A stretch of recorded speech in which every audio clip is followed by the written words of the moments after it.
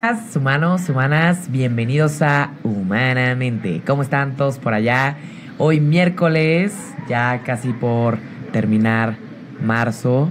Hoy ya saben que estamos aquí para hablarles de psicología. Buenos días, José, ¿cómo estamos? Buenos días, Carla. Muy contento de estar aquí con, contigo y con todo nuestro amable auditorio en este hoy, hoy que es el día en que transicionamos a la primavera, es 21 de marzo y también es el natalicio de Bomberito Juárez, así que a todos los niños que como yo de chiquitos nos peinaron como Benito Juárez, les mando una felicitación. y bueno, pues así, este, con este chiste muy malo, Comenzamos otro miércoles más de Humanamente. Humanamente. Pues bien, como saben, aquí en este programa siempre se habla de los temas que todo mundo ha oído hablar, pero nadie sabe con certeza.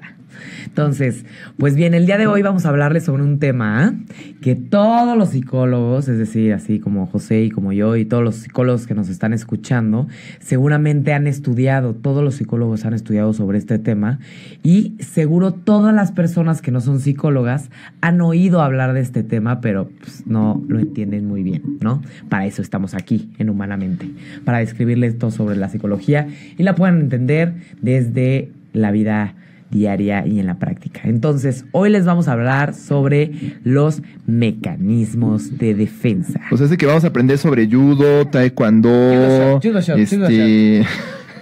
¿Qué es eso? El judo shot era como el golpe. O sea, hacías, la mano como si fuera una tablita. Sí. Y, judo shot. La, como, El gol, como la acción de golpe de Buzz Lightyear, ¿no? Sí, los mecanismos de defensa van a ser. Eh, se, se escuchan. Se escuchan no, vamos a hablar de defensa personal. vamos a hablar de cómo lidiar con un agresor en en el metro, en, en, en, la tiendita, en la calle. No, no es cierto. Justo, justo, de hecho, no vamos a hablarles de defensa personal ni de movimientos físicos que van a poder proteger su seguridad y su integridad, pero sí les vamos a explicar sobre estos mecanismos de defensa que realmente, pues de alguna manera, nuestro cuerpo utiliza para defenderse de las emociones negativas. Sí, hoy vamos a hablar de todas aquellas pensamientos negativos, sí, o pensamientos negativos o ideas o situaciones complicadas, ¿no? Este, el día de hoy les vamos a hablar de todas aquellas maneras de reaccionar o todas las respuestas inconscientes encargadas de defendernos, como decíamos, de todos estos pensamientos y emociones, ¿no? Eh, no necesitamos entender por completo el inconsciente, pero pues tenemos que saber que hay una parte de nosotros que al interactuar con los demás y cuando nos comunicamos con nosotros mismos, pues hay una parte que no podemos entender y que plut de repente sale, ¿no? y no sabemos de dónde vino. No sabemos de dónde Nos vino. agarra por sorpresa. Freud le llamaba a la parte de abajo del iceberg, toda esa parte de los sueños, los deseos y esa parte de nosotros que no es totalmente este, continua o no es totalmente consciente. Consciente, exacto. El famoso inconsciente, inconsciente. Esa parte que no vemos de nosotros mismos. Sí. Justo los mecanismos de defensa se encargan de mantenerlos ahí. De mantener. Donde no queremos, porque no los queremos ver a veces. Sí, así es. Y de hecho, seguramente ustedes han oído hablar de los mecanismos de defensa porque todos los psicólogos siempre están hablando de ellos y siempre están interpretando a los demás con referente a pues es que están en negación, es que seguramente se está proyectando. Ah, ya, deja de proyectarte, Ya, ¿no? Está, está este, introyectando. ahí. Está introyectando está ya actuando, todo. hay una emoción. Está actuando, sí. Entonces, hoy al fin vamos a poder entender todos los no psicólogos, ¿no? ¿Qué onda con esta forma inconsciente de expresarse del ser humano con, hacia con los demás? Que hace que nosotros los psicólogos de repente digamos, ay, como que se está proyectando, ay, como que está en negación, ¿no? Y así, entendamos muy bien de qué estamos hablando. Y yo creo que también rescatarlos de esa mala fama que tienen. Tienen como muy mala fama, como si fueran, como si fueran algo vergonzoso, que sí tienen, vamos a ver, un origen un poquito en la vergüenza o en la culpa, pero no necesariamente tiene que ser algo malo o algo que nos haga sentir mal. De pronto descubrirnos eh, empleando uno de estos mecanismos de defensa son tan muy justificados en muchos casos. La cosa es entenderlos y, y saber también cuándo pueden ser un problema. A ver, que les quede claro que el objetivo de los psicólogos es clasificar y nombrar todos los problemas del ser humano, ¿no? Entonces, obviamente, cuando No nada es- problemas. también las cosas Las cosas positivas, positivas, pero todos los fenómenos pero la la verdad es que sí cuando hablamos del psicoanálisis y el tema de Freud y el tema del inconsciente sí estamos hablando de todos esos defectos de la personalidad y lo que está dentro de nosotros. No necesariamente tiene que ser algo malo o algo que nos haga sentir mal, de pronto descubrirnos eh, empleando uno de estos mecanismos de defensa, son tan muy justificados en muchos casos. La cosa es entenderlos y, y saber también cuándo pueden ser un problema. A ver, que les quede claro que el objetivo de los psicólogos es clasificar y nombrar todos los problemas del ser humano, ¿no? Entonces, obviamente, cuando No nada más los problemas. también las cosas Las cosas positivas, positivas, pero todos los fenómenos pero de la mente la, humana. la verdad es que sí, cuando hablamos del psicoanálisis y el tema de Freud y el tema del inconsciente, sí estamos hablando de todos esos defectos de la personalidad y lo que está dentro de nosotros que nos está afectando, porque cuando un psicólogo eh, cuando habla del inconsciente con sus pacientes, pues obviamente lo que quiere es curar, ¿no? O más bien Claro. este, enfocarse en la parte de, pues, ¿qué podemos mejorar? Porque cuando acuden muchas veces los pacientes a terapia, acuden porque tienen problemas, ¿no? Entonces, para problemas hay que identificarlos y trabajarlos, ¿no? Entonces, como dice José, no toda la psicología es este la parte negativa, pero muchas veces los psicólogos, pues sí, la verdad es que a veces nos enfocamos en Porque, las partes seamos honestos, el morbo es interesante y además a mí me gusta pensar que estudiando las funciones, bueno, las disfunciones de la psique es como cuando no vas a abrir tu reloj o no vas a abrir tu televisión para saber cómo funciona hasta que no la ves descompuesta. O a veces cuando vemos algo descompuesto es que nos permite a veces entender un poquito mejor cómo funciona. Entonces, de ahí ese también interés, ¿no? De los psicólogos o de todos aquellos que trabajan en la clínica como de observar las disfunciones o los o los la- eh, las patologías, ¿no? Bien, Y entonces, mecanismos de defensa se, se, se escucharía como algo positivo, ¿no? Pareciera ser que, como decía José de esta defensa personal, pareciera que es como un escudo que sacas para sobrevivir.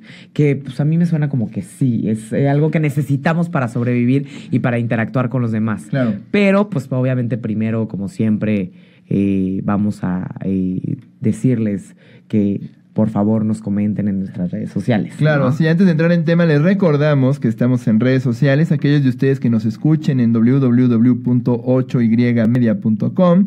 Eh, también pueden ver una transmisión en vivo de este programa en Facebook. Si nos buscan ahí en la lupa de Facebook con 8Y Media para que nos vean nuestras, nuestras, tu linda cara y mi carota en este- Nuestras carotas. en vivo, en, en vivo y a todo color. Eh, también nos pueden encontrar en Twitter. En Twitter, En Twitter. Tuning Radio. En Tuning Radio pueden encontrar este programa, así como programas anteriores y varios programas de la familia 8 y media. Y también en iTunes están estos podcasts archivados para que ustedes los escuchen. Si no los pudo escuchar en, en este momento en vivo, los puede escuchar otro día sin ningún problema. Un conglomerado de psicología en podcasts. ¿Qué más quieren? Especialistas hablando de manera amena sobre los temas más interesantes de psicología. Vamos, dense un clavado al Tuning Radio y al podcast en iTunes, por favor. Cámbiale a Tlacuache. Un día nada más.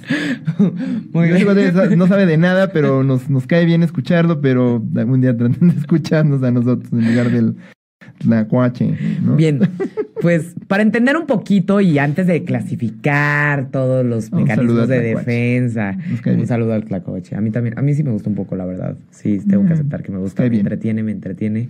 Eh, me gustaría conocer a la persona que escribe los diálogos. Bueno, eh, antes de platicarles sobre cada uno de los mecanismos de defensa y eh, describírselos y darles ejemplos, como ya saben que les describimos aquí en Humanamente, vamos a entender de dónde vienen los mecanismos de defensa, quién los estudió, por qué, quién los inventó, quién los nombró, de dónde bien, ¿quién salieron. los descubrió? ¿Quién los descubrió?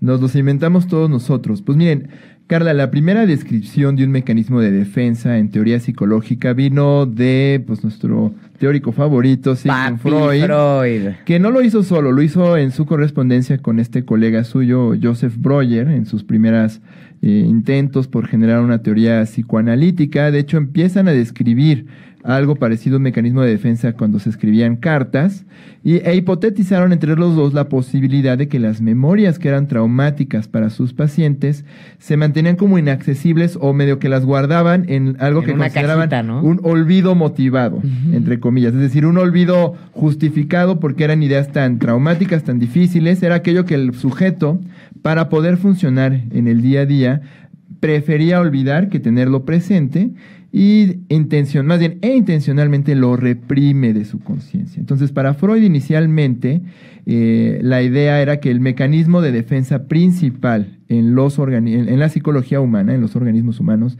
es la represión de esas memorias, emociones, deseos o fantasías que son consideradas muy conflictivas, muy dolorosas para las personas y que entonces mantienen a distancia y escondidas de su consciente. Como decíamos hace rato, las mantienes hundidas en el, en el eh, abajo del iceberg, ¿no? En la parte de abajo del iceberg. Justo como decíamos, la defensa personal se presenta en la emoción negativa y ¡pah!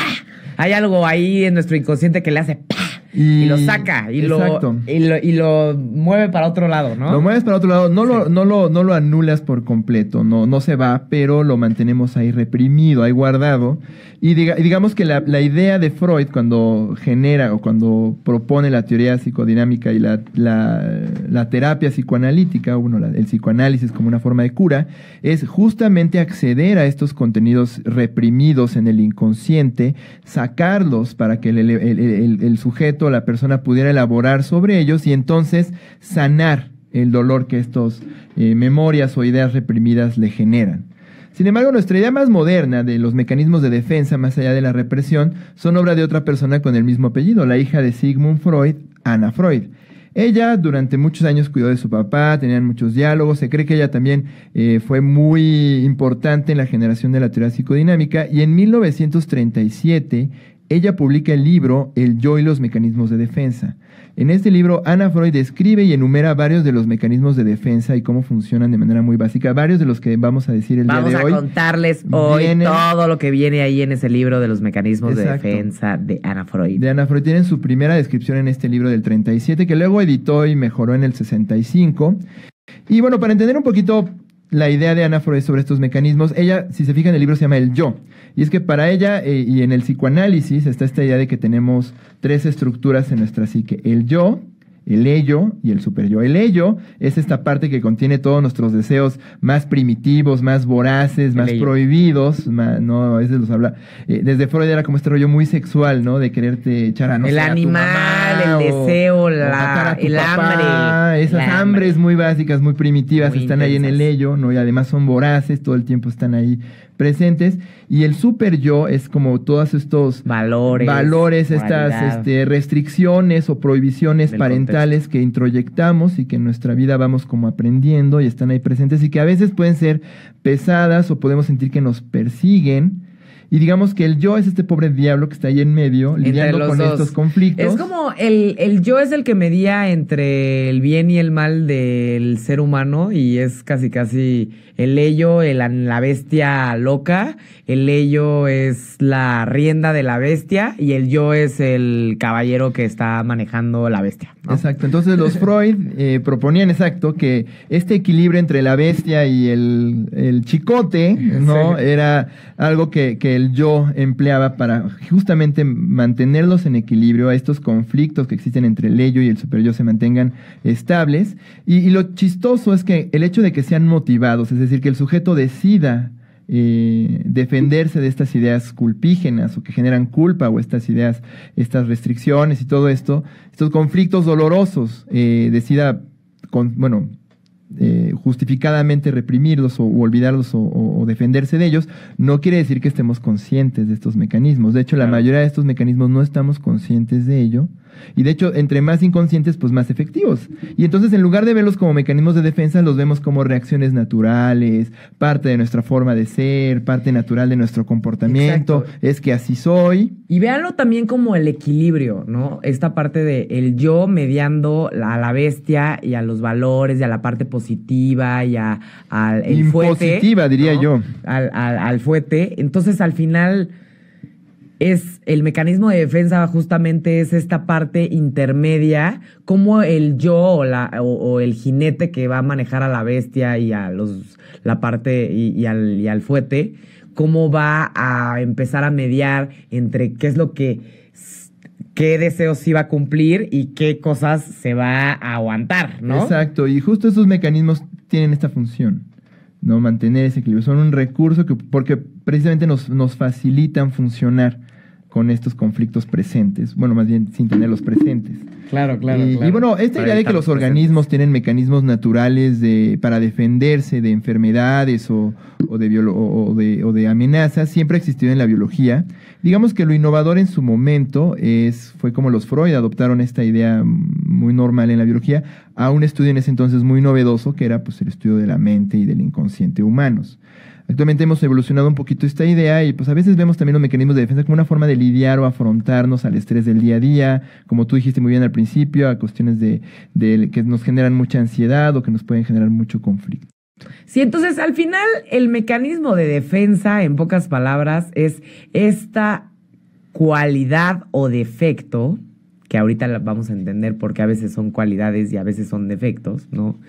Que tenemos internamente para responder ante el conflicto interno, es decir, ante la ansiedad, ante el- el- los problemas, ante las imágenes negativas, ante los deseos negativos, ante las fantasías negativas, ante las cosas que no queremos afrontar, como que encontramos una manera de de repente como que, que aventarlos para otro lado. Ándale, ¿no? por negativas que pueden ser traumáticas, pueden, Exacto. o sea, no necesariamente son como, ay, no pienses negativo, no seas este pesimista. No, no, no. Son a veces estas ideas como que son muy dolorosas o que nos hacen sentir culpables o que pueden ser muy conflictivas para nosotros eh, y- o, o, como decía hace un momento, traumáticas, Así es. Entonces, hay dos amenazantes. grupos, ¿no? De mecanismos de defensa. Están los mecanismos de defensa primarios o más primitivos y están los mecanismos de defensa secundarios o un poquito más eh, evolucionados, ¿no? Sofisticados. Más sofisticados. Más así es. maduros. Más maduros, así es. Entonces,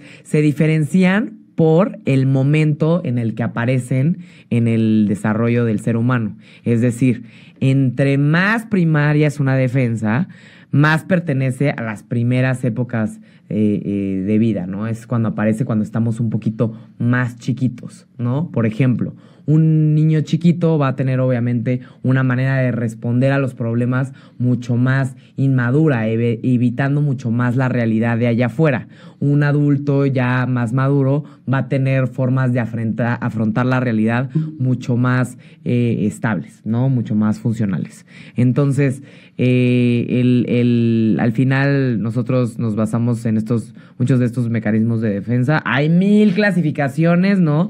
Pero una de las que utilizamos fue la de McWilliams, que es este, un, un diagnóstico psicoanalítico, ¿no? De una perspectiva muy general, como un diccionario de mecanismos de defensa, el cual les vamos a, a nosotros a, a platicar el día de hoy. Y obviamente el, el pues al final todos usamos mecanismos de defensa, todos, todos. Si no se sientan mal si se dan cuenta que usen alguno de estos. Y, y todos los usamos porque son necesarios para, para nuestro funcionamiento este, mental. Si no, no estaríamos aquí y no podríamos este, socializar, ¿no? Es algo, si si de algo está lleno el mundo, son de amenazas para nuestra autoestima. Así es. Entonces, obviamente, lidiamos con estas amenazas con estos famosos mecanismos. Entonces, Bien. primer mecanismo. Primer mecanismo. Número uno, mecanismo de defensa primario llamado el retraimiento. El retraimiento consiste en el replegamiento sobre uno mismo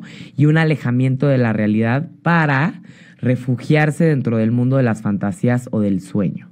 ¿Esto qué quiere decir? Por ejemplo, el retraimiento es, la realidad es tan dura, tan agresiva, tan dolorosa, tan triste que prefieres irte a dormir para evitar la realidad que estás viviendo. ¿No? Esta defensa normalmente le permite al individuo, por ejemplo, escaparse de lo que está viviendo actualmente. Por ejemplo, tiene una pérdida, ¿no? Entonces, en ese momento se muere un ser querido, muy querido, y en ese momento como que dice, no puedo afrontar la realidad, entonces mejor me voy a encerrar en mi cuarto, no voy a salir, porque yo sé que allá afuera todo el mundo me va a decir que esta persona ya no está y yo todavía no estoy eh, este, listo para afrontarlo. Entonces lo que haces es que te retiras de esa realidad y como que te desconectas eh, eh, geográficamente de, la realidad, ¿no? Entonces una de esas formas podría ser dormir. O, emocionalmente, o de, por ejemplo, a mí, a mí decías ese ejemplo y se me ocurría aquellos que de pronto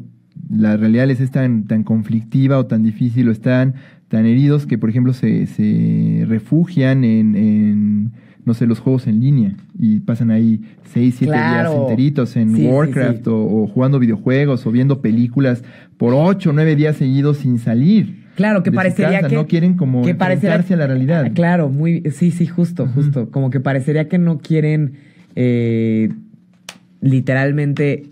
Dice que están jugando y se la están pasando bien, pero en realidad nada más están haciendo algo repetitivo para evitar la realidad. evitan la realidad, ni siquiera la reconocen que está ahí, ¿no? Se retraen por completo, como dices tú, se repliegan como... Como, que se aísla. Como, como tortuga en su caparazón, ¿no?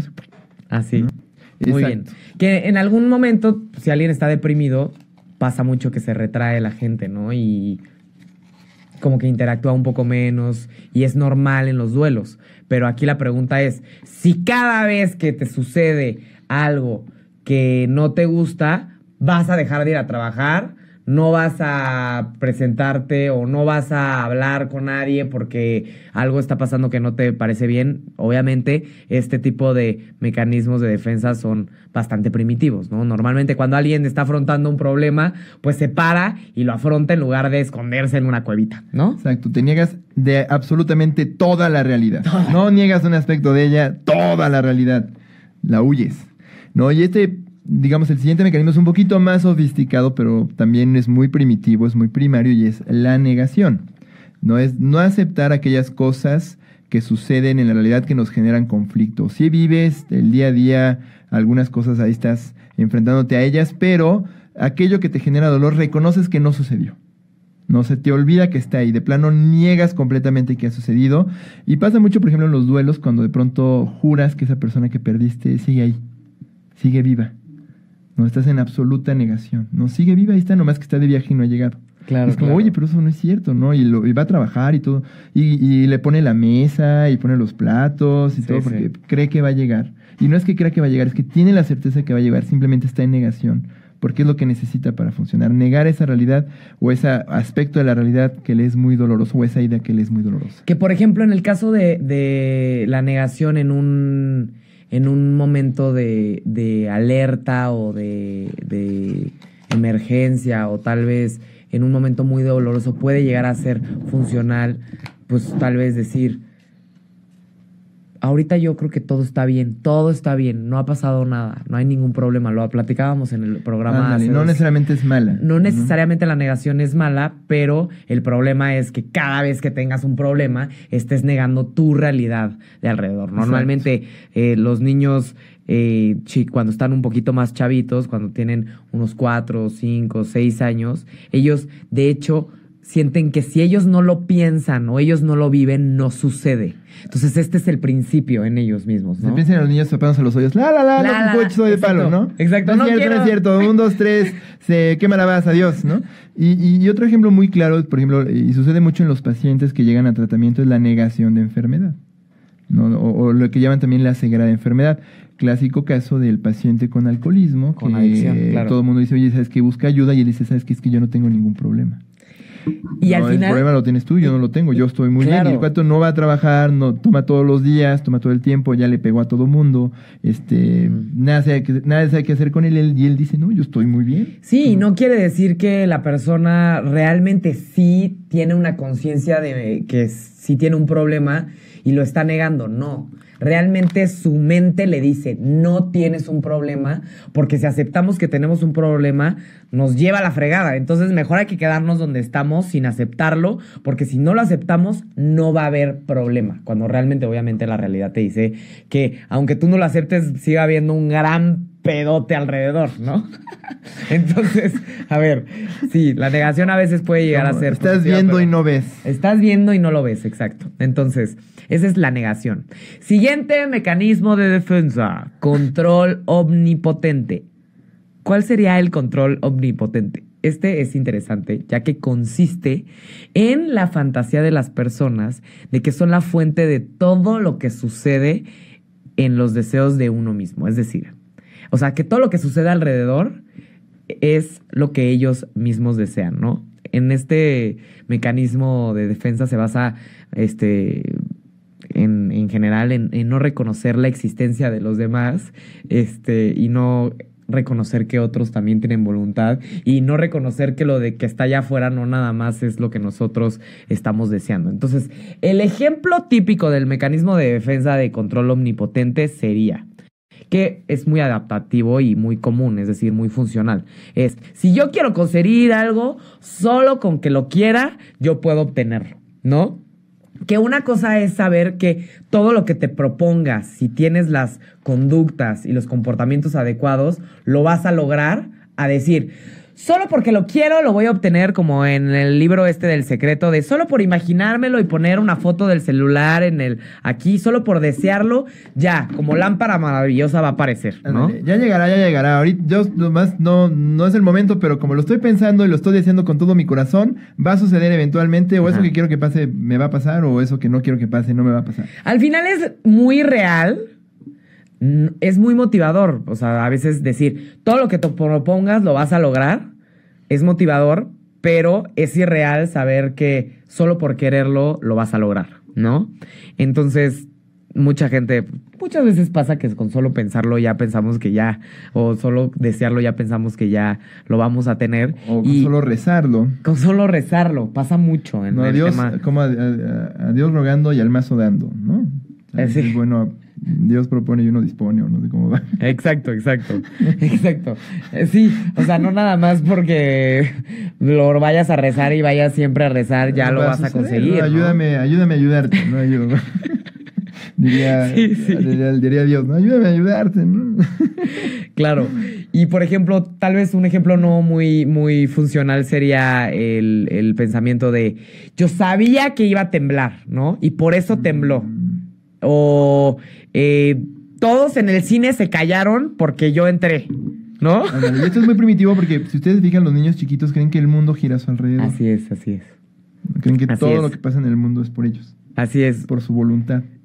Porque bajita la mano, pues puede serlo, ¿no? Lloran tantito, ya está la mamá y todo eso. Entonces, por eso es que es un mecanismo tan primario. Claro, es muy primario, justo porque piensas que yo soy el, mundo gira a mi alrededor. El mundo está pues, alrededor. Así es. Muy bien. Muy bien. Entonces, siguiente mecanismo de defensa. La idealización.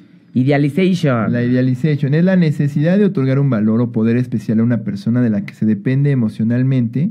Y así, digamos, yo ya no me hago responsable, sino esta persona. Es como la, el, deseo omnipotente, o, o más bien el control omnipotente, pero en lugar de ponerlo en mí mismo, lo pongo en otra persona a la que valoro demasiado. Exacto, entonces esta persona es la responsable de todo lo que me va a pasar. A veces, por ejemplo, la, idealización puede ser negativa o puede ser una desvalorización. Es decir, todo lo malo que me pasa es culpa de este idiota que está ahí. Entonces yo no me enfrento a mi responsabilidad, yo no me enfrento a, ese dolor que viene de mí mismo, ¿no? O esa herida, sino, ah, es culpa de este cuate.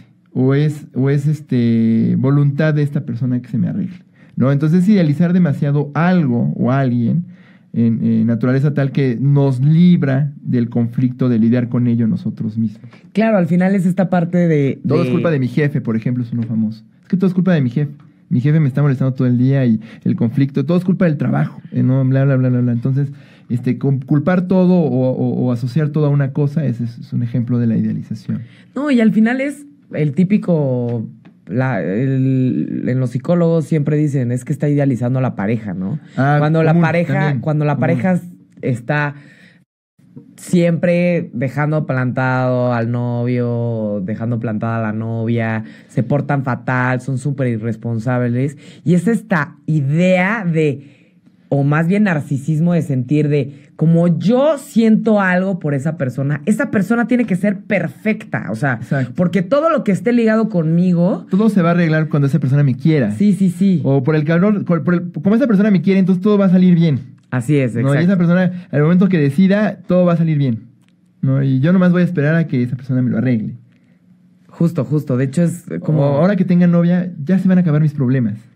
Sí, no, y es pensar que realmente estás viendo que es una persona que tiene muchos defectos y que te los está mostrando y que no te está respetando y que no te quiere, y aún así piensas que sí tiene cosas positivas. ¿Por qué? Porque parecería que hay algo de ti que no está viendo realmente todas las partes negativas de esta persona y nada más está viendo las positivas. ¿Por qué? Pues yo me siento bien estando con esta persona. Entonces, esa persona es la que yo necesito para mí y por eso es mucho más fácil pensar que es lo mejor para mí porque simplemente me siento bien con ella, ¿no? Entonces, sí, es como esta parte de una persona que no es tan positiva, la vez demasiado positiva por ganas de seguir ahí y mantenerte ahí. Por eso, a veces una espatulita en el psicólogo para que Ándale, y es una forma uno. justamente de evitar el conflicto, porque se lo estás depositando a la posibilidad de solucionarlo o, o- o- o- o- o el origen de ese conflicto, lo depositas en otro más. Claro, en lugar de moverte, de desprenderte de esa persona,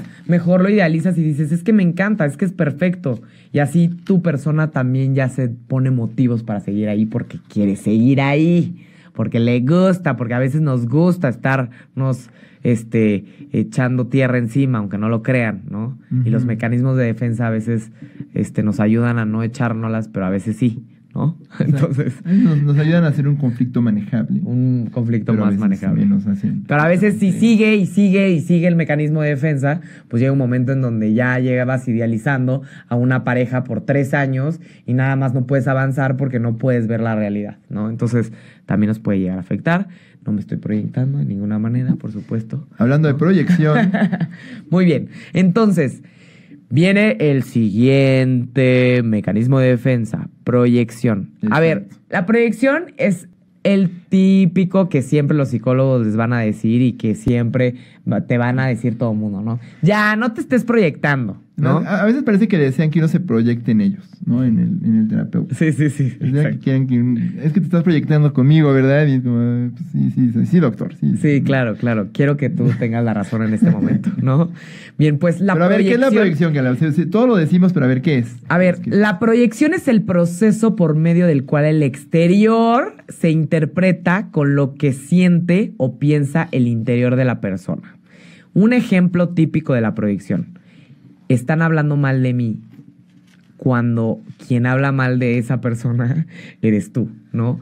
Cuando algo tienes negativo dentro de ti y quieres que los demás estén, eh, pues digamos, haciendo eso que realmente está dentro de ti, ¿no? Típico. El, el, el, ay, no es que seguro le caigo fatal. Cuando a la que le cae mal eres tú, ¿no? Y este siempre hemos dicho como eh, lo que te checa te ca- lo que te, ca- te- Lo, que, te, cacha, te checa, ¿no? lo que te, te- lo que te cacha te o checa. ponerse el saco. Sí, ponerse el saco, ¿No? 100%. Ya ponerse se puso el saco. Sí, sí, sí. a ver, ustedes díganme, díganos en Facebook, cuando alguien dice ponerse el saco, ¿es un saco como de sastre o es un saco como de papas?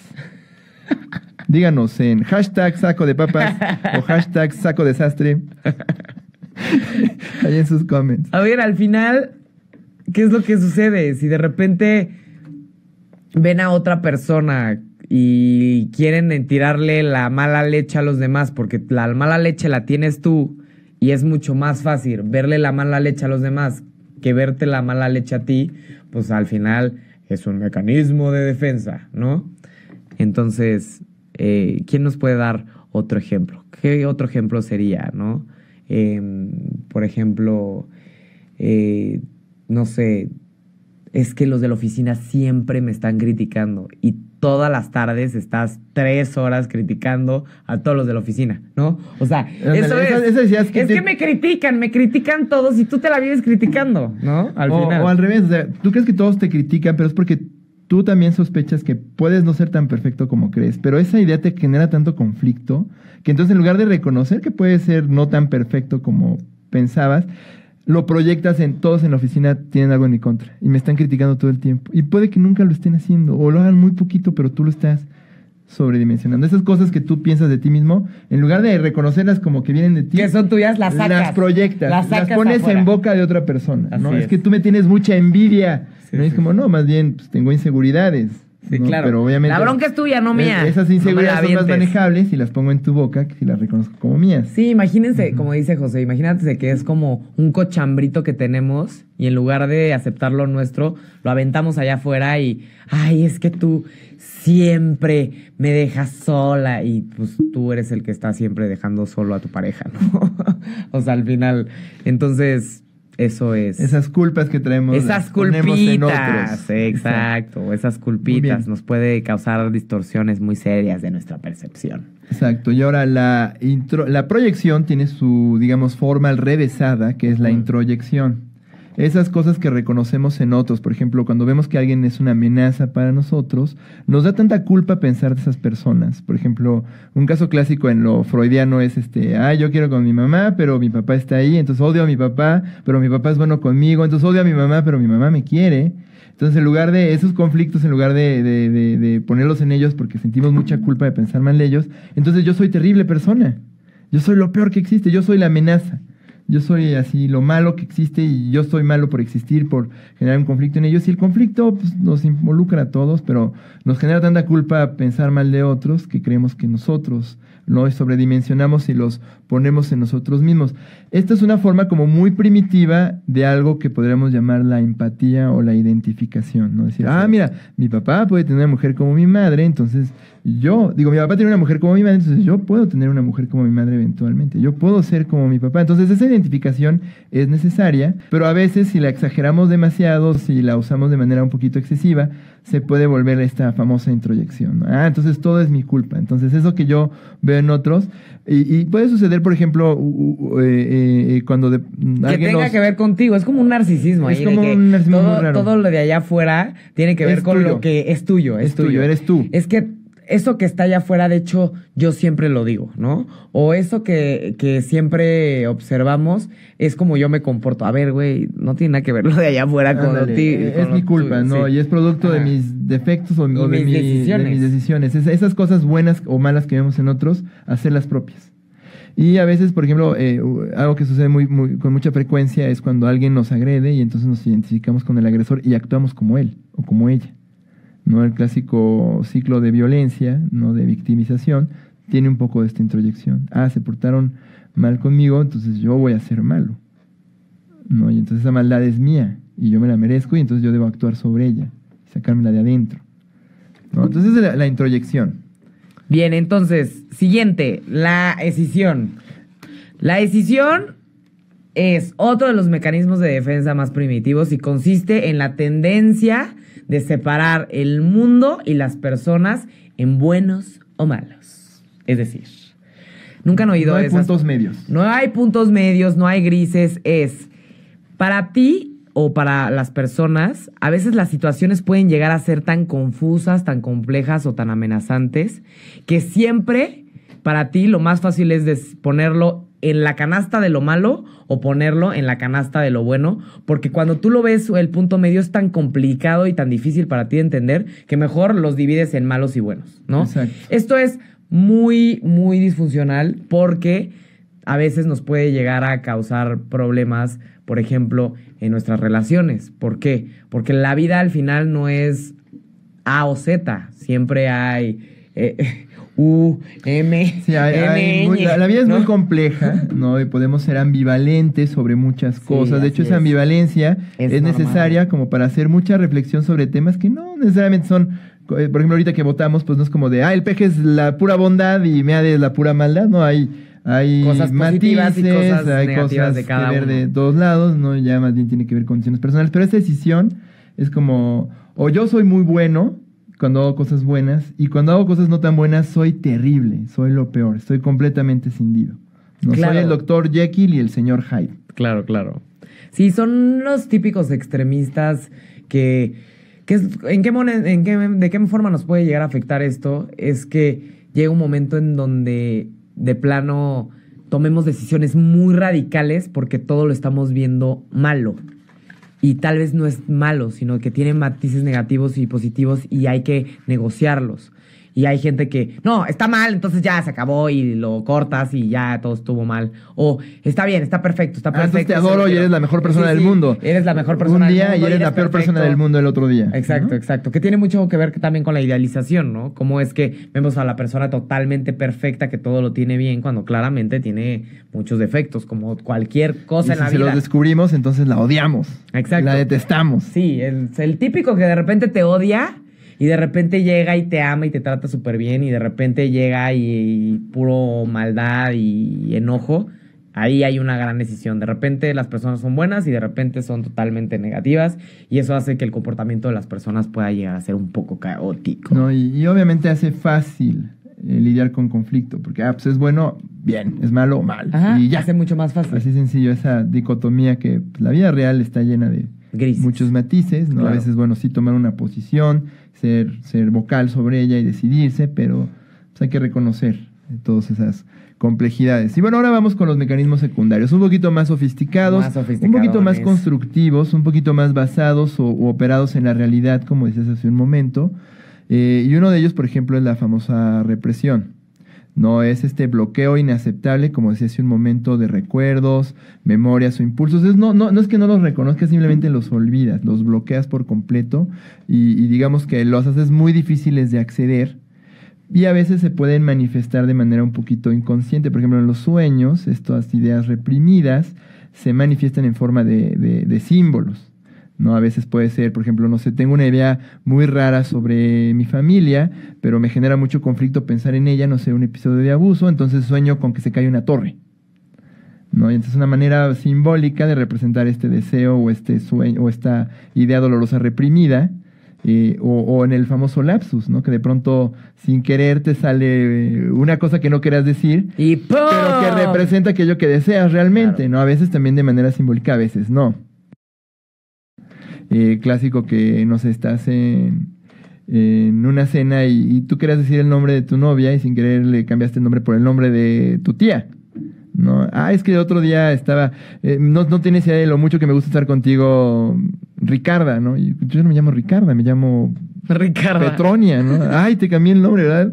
No, pues Ricardo es tu tía, ¿qué onda, no? Y es como, ay, espérame tantito, ¿no? Igual tienes muy introyectado ahí la idea de que pues, la tía Ricarda te caía muy, muy bien y la querías mucho y, eh, no sé, pensaste en Sí. un rollo ahí sexual y ¡pum! O sea... Sí, claro, o sea, al final si de repente tienes un impulso súper negativo hacia alguien, obviamente socialmente no es aceptado. Entonces tu ello, es decir, la parte, eh, eh, el, freno de tu vida, te dice inconscientemente, párale, no puedes decir esto. Entonces como que lo avienta una esquina de tu inconsciente y eso es la represión, ¿no? Como que lo aplasta y te dice, güey, ¿te calmas o te calmas? Porque aquí no puedes empezar a gritar, no puedes empezar a mentar madres, no puedes expresar esta parte negativa de la situación, porque todo es perfecto. Por ejemplo, los políticos. ¿No? La Un represión es que político. Estas ideas como conflictivas, en lugar de lidiar con ellas, mejor vamos a esconderlas. Pero si se fijan, es relativamente más funcional que Claro, negarlas, no, que no es lo mismo que negarlas. No, Sí, negarlas es que si te las dicen la- eh, igual, no es lo mismo negarlas, decir no pasó, que decir, ay, pues se me había olvidado. No, a ver, recuérdame porque lo tengo bloqueado. No, al final más, las... Sí, claro, o sea, al final en las conversaciones, a veces lo que decimos puede lastimar mucho a los demás y si realmente estamos sacando todo lo que pensamos todo el tiempo, como a veces los, este, los borrachos, ¿no? O los que están este, intoxicados con alcohol, pues obviamente podemos llegar a dañar a los demás y funcionalmente necesitamos reprimir cosas, porque si no, obviamente seríamos todos impulsivos diciendo todo lo que pasa por nuestro circuito mental, ¿no? Exacto, no podemos actuar sobre todos nuestros deseos en estado No. puro, diría un freudiano. ¿no? Así Pero es. tampoco podemos. este, Voy tratando de cambiar mis impulsos sobre ti. Me estoy acordando. La de Alex Intec, me encanta. Es como este rollo de el impulso de que tal vez mueres, mueres, mueres, mueres, mueres, mueres por decirle a la persona de al lado que quieres con ella, pero pues no le puedes decir eso porque tal vez es el esposo de tu mejor amiga o tal vez es alguien que no le puedes decir porque tiene connotaciones de mala educación o no sé. O sea, al final sabemos que hay Entonces, que... a lo mejor te haces güey. Te haces güey y lo Se te reprimes olvida en que una te esquina. gustaba y lo reprimes y de pronto te sale sin querer. ¿no? Exacto. Después como que te sale porque es como... No, un- pero si yo no pensé en esa Po- persona en ese momento. Y no es, no es hacerse mensos, ojo. Hay gente que se hace mensa, la, nega- la, eh, digo, la negación tampoco es hacerse menso ni, ni, ni la represión. Es básicamente, este, se te olvida, lo bloqueas por completo. Bien, entonces, esta, la, la represión es la típica, siempre todos la tenemos, la necesitamos, espero que repriman sus emociones porque sí es necesario para la vida diaria y la socialización. Y Bien, para un momento en que puedan manejar con ellas, ¿no? Sí. Guárdenlas hasta que puedan con ellas. Bien, siguiente mecanismo de defensa de los un poquito más adaptativos es el desplazamiento.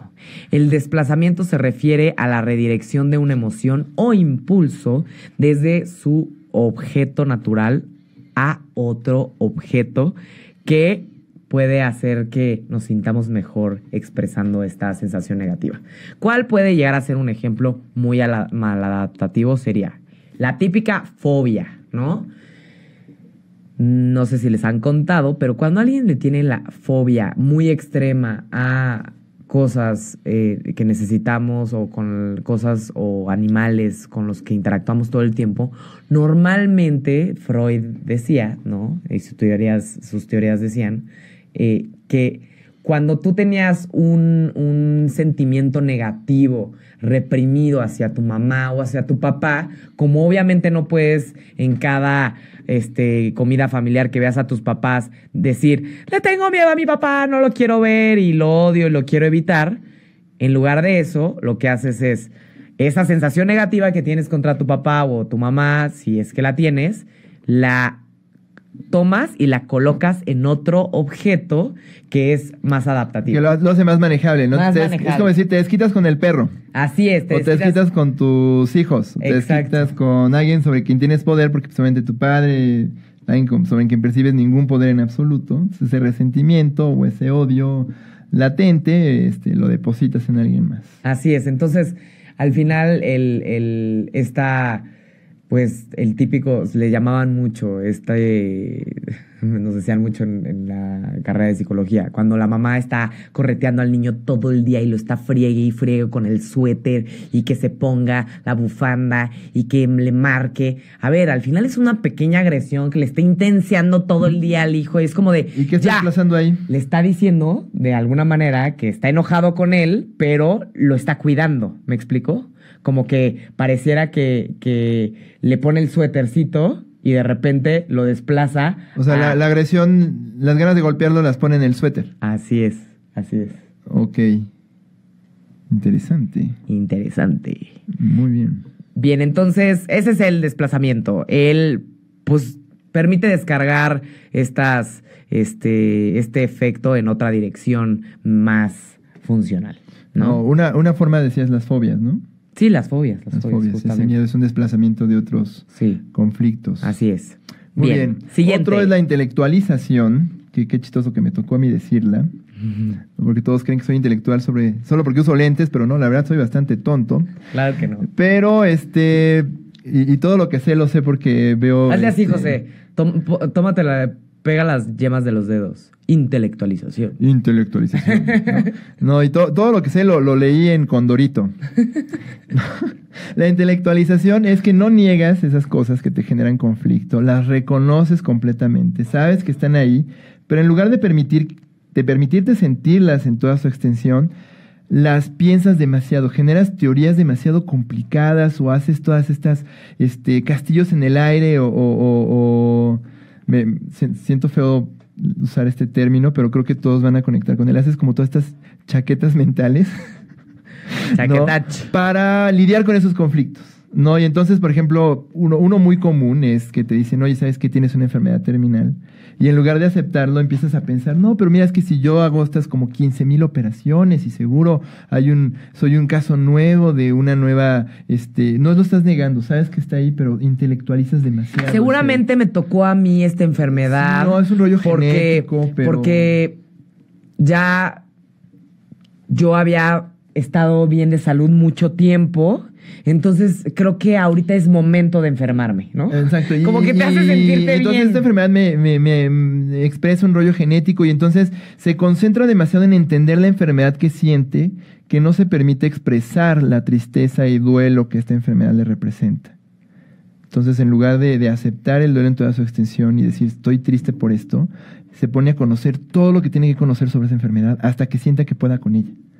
Nos dicen, es, es muy famosa esta idea que, bueno, ya nos dirán los psicoanalistas en nuestra audiencia si es cierto o no, que toda la teoría psicoanalítica de Freud era una intelectualización de sus propios conflictos psicosexuales.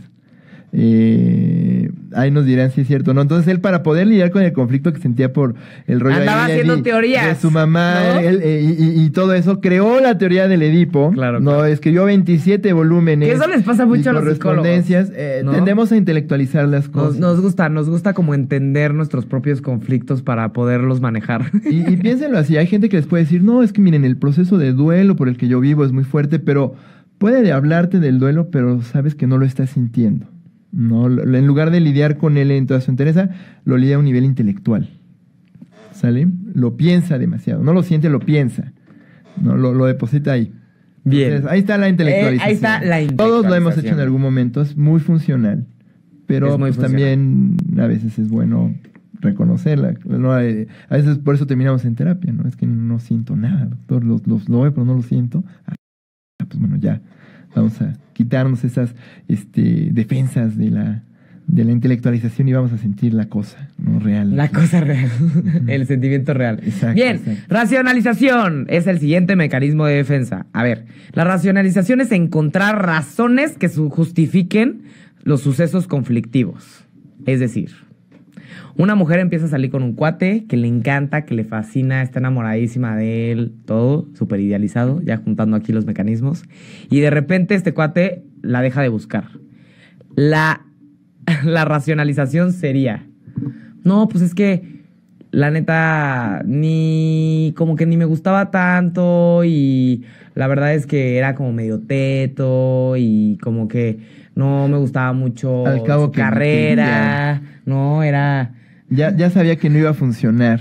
Esto, ese clásico de Igual al después de un final no iba rechazo, a ra- pues ni, ni iba a funcionar. Ni La verdad, a ni iba a funcionar. funcionar. Sí, sí, Yo exacto. qué bueno que me salvé de una buena. Sí, al final son justificaciones. A diferencia de la intelectualización, sería como más una justificación de lo que pasó. En lugar de... decir, me duele que me rechacen. Exacto. Ah, pues al, ni al cabo que ni, ni quería ni iba a funcionar y estaba chafa y, y, pues no es el momento, tengo Sí, era mucho medio trabajo, estaba medio loser y además yo no estoy listo y bla, bla, bla, bla. Y- Pero eso es súper positivo, la verdad. Como que te- Es muy funcional. Es, una manera de echarte como porritas y motivación de, pues al final, pues ya. Y te permite a veces hasta construir una herida en el ego, pues una oportunidad de moverte y seguir adelante sin, sin rumiar demasiado en ello. ¿no? Entonces, a veces es, es muy útil la racionalización, así como la intelectualización Sí, en claro. momentos. ¿no? Siguiente. Formación reactiva. Es que transformas una emoción o impulso en lo contrario. Es decir, aquello que odias lo conviertes en amor. ¿No? Como para lidiar con eso. Si sientes envidia por alguien, la conviertes en gratitud. Eh, aquellos individuos que tienen mucho, eh, tienen mucho que ver con eh, emociones agresivas, luego nos da miedo sentirlas y entonces preferimos lidiar con ellas y toda esa energía emocional la convertimos en lo opuesto. Puede ser a veces muy productivo porque nos permite a veces acercarnos a esas cosas que nos generan repulsión para entenderlas mejor o para este, tratarlas mejor de lo que haríamos si quisiéramos agredirlas, pero a veces también nos pueden este, evitar eh, lidiar con conflictos reales. Un ejemplo muy claro de esto, y creo que todos lo hemos vivido alguna vez, es que de pronto admiras demasiado a la expareja de, digo, al ex de, digo, a, a la nueva pareja de tu ex, ¿no? Este, lo detestas, lo odias, pero en lugar de permitirte odiarlo y detestarlo, ay, pues es que tú eres bien buena onda, no, me cae muy bien, es una gran persona, ¿no? Yo no siento otra cosa más que este respeto por esta persona, ¿no? Entonces ya eh, te convierte en lo opuesto, ¿no? Es una como sobrecompensación, podríamos decir, de estos sentimientos agresivos, que a veces puede ser bueno, ¿no? Porque pues entonces ya no actúas sobre esa agresión que a veces puede ser irracional, ¿no? Pero pues es bueno a veces también reconocer este conflicto. No es una sobrerealización tampoco, ¿no? Porque no estás convirtiéndola en un dios omnipotente ni en una persona demasiado buena, simplemente pues sientes lo opuesto por esa persona. Te permites comprenderla si quieres, ¿no? Claro, y acercarte, claro, claro. pero a también puede ser forzado, ¿no? A veces es forzado y te das cuenta cuando es forzado. Bien, Muy entonces, el siguiente mecanismo de defensa es la anulación y consiste en el esfuerzo inconsciente de compensar la culpa con un comportamiento que parecería que lo va a borrar mágicamente. Este, este comportamiento tal vez negativo que tuviste. El típico ejemplo es, imagínense que un día tú te portas mal con una persona, llegaste y no sé, este, la criticaste, ¿no? Entonces, en ese momento, como que te das cuenta que la criticaste y, y esa persona se sintió mal y en ese momento te entra la culpa y para mitigar esa culpa lo que empiezas a hacer es tratarla bien y eh, superadularla y ay no no no perdón este qué quieres que te traiga el típico lo típico que pasa con con los con, con las parejas no que de repente ah, hubo un malentendido un enojo y la persona como que trata de compensarla porque cree que mágicamente va a desaparecer lo negativo no Ándale, como que es como que pegar y quitar la mano. Así ¿no? es, y, así es. y entregarle una rosa mejor, ¿no? Para que se le olvide lo malo que hiciste, ¿no? Como para Sí.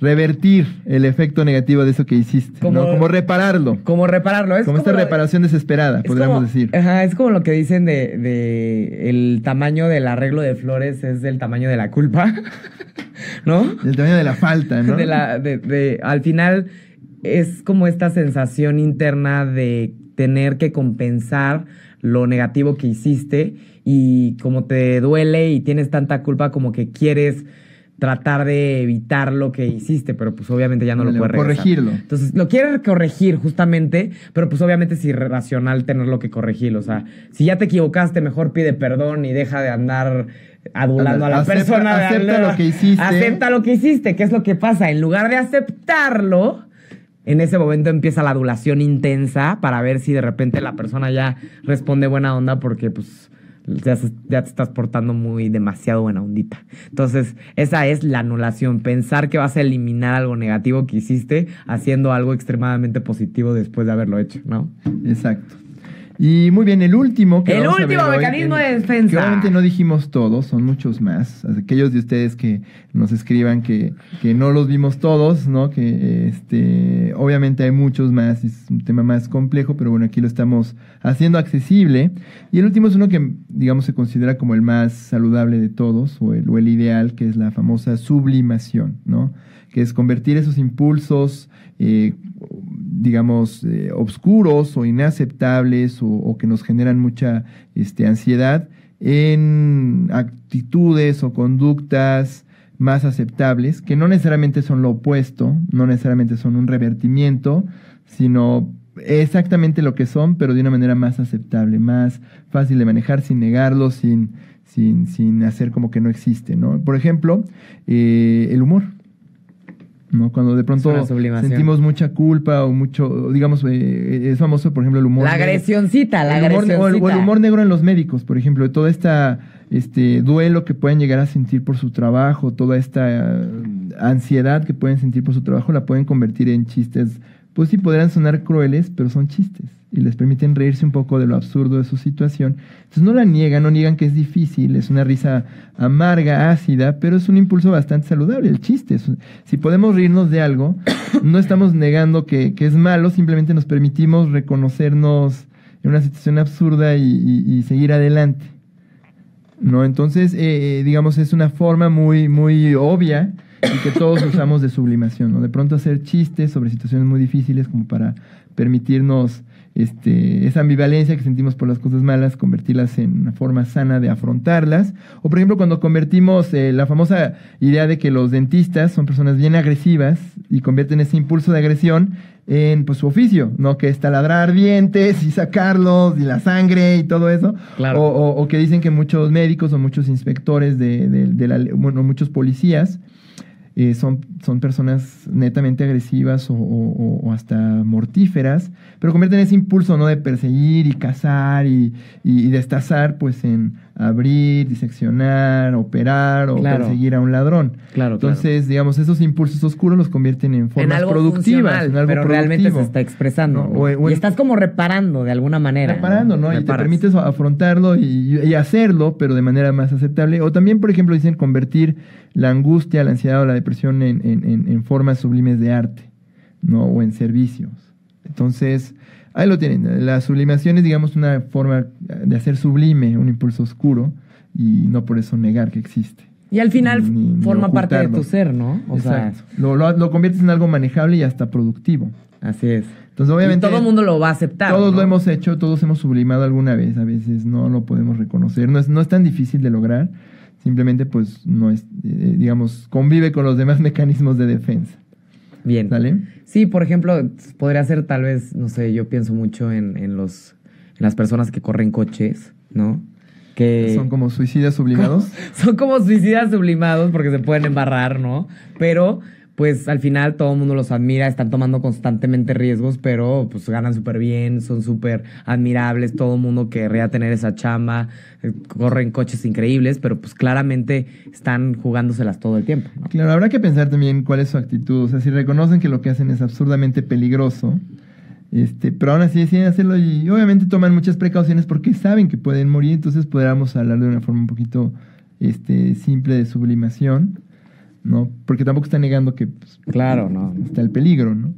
Este, entonces, muy bien. Muy bien. Esos son los mecanismos de defensa. Esos son los mecanismos de defensa. Eh, espero que los hayan este, disfrutado como los disfrutamos nosotros. Evidentemente, estos mecanismos es súper interesantes eh, pues es muy interesante comprenderlos porque ¿qué es lo que hacen los psicólogos? Muchas veces los psicólogos en terapia lo que hacen es trabajar estos mecanismos cuando se vuelven desadaptativos, que la desadaptación o un mecanismo ya disfuncional eh, sería pues que se esté repitiendo todo el tiempo en situaciones constantes y que hagan que una persona no pueda moverse del lugar. Como les estaba comentando hace un rato, si una persona no sale de una relación conflictiva desde hace muchos años debido a que sus mecanismos de defensa no lo dejan salir, ahí es donde tienes que trabajar con los mecanismos de defensa para poder empezar a mover a la persona del lugar. Ándale, porque justamente ¿no? están funcionando. Generalmente un mecanismo de defensa nos permite lidiar con la parálisis de un conflicto o un pensamiento Así es. este, inaceptable o doloroso